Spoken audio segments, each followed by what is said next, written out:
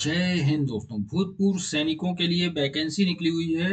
हालाँकि सभी लोग अप्लाई कर सकते हैं general S C S T OBC भूतपूर्व सैनिकों के लिए 10 परसेंट पोस्ट रिज़र्व है और जो वैकेंसी निकली हुई है भ्रत यानी कि चपरासी के पदों पर निकली हुई है। गवर्नमेंट जॉब है।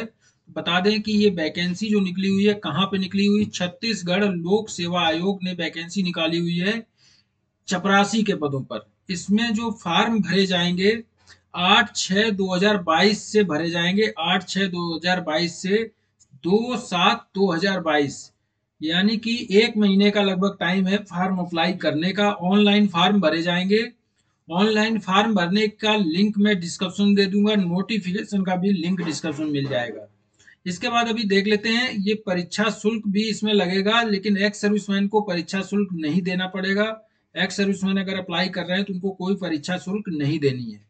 अभी इसके बाद बात कर लेते हैं। आठ छह दो हज़ार बाईस से दो सात दो हज़ार बाईस तक फार्म भरे जा सकते हैं और चपरासी के पदों पर भर्ती का मतलब है चपरासी के पदों पर भर्ती निकली हुई है। इसमें जो भूतपूर्व सैनिकों के लिए भर्ती अलग, वैकेंसी अलग से है। सबकी वैकेंसी बताते हैं, जो चपरासी पदों पर वैकेंसी निकली हुई है। अनरिजर्व यानी कि जनरल लोगों के लिए चौंतीस वैकेंसी है, एससी के लिए दस वैकेंसी है, एसटी के लिए पच्चीस वैकेंसी है, ओबीसी के लिए ग्यारह वैकेंसी है। इसके बाद और भी दस वैकेंसी ये आ जाते हैं। कुल रिक्त केवल छत्तीसगढ़ के निवासियों के लिए, जो छत्तीसगढ़ के निवासी, उनके लिए दस वैकेंसी अनरिजर्व है।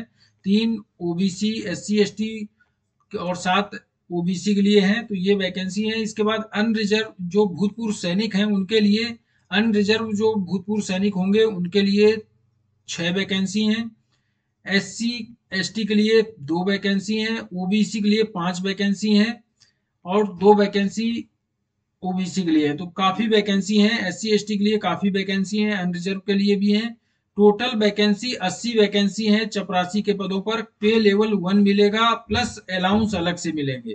तो सैलरी भी काफ़ी रहेगी। गवर्नमेंट जॉब है तो इसमें सैलरी गवर्नमेंट के अनुसार मिलेगी। पे लेवल वन मिलेगा। और अन्य महँगाई भत्ता और अन्य भत्ते दे होंगे।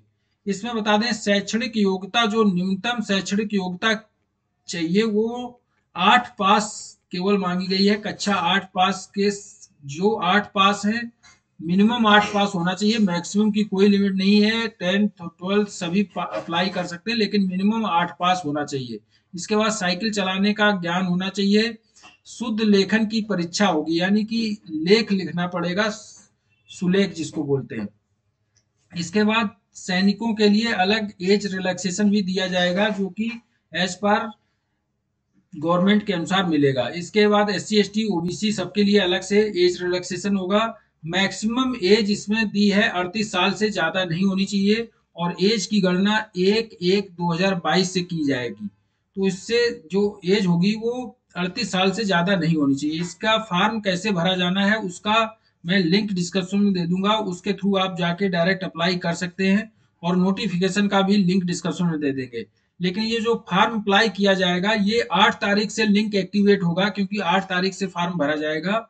आठ जून 2022 से फॉर्म भरा जाएगा। इस वीडियो में इतना ही। वीडियो अच्छा लगा हो तो लाइक करें चैनल सब्सक्राइब ज़रूर कर लें, क्योंकि आगे भी ऐसे ही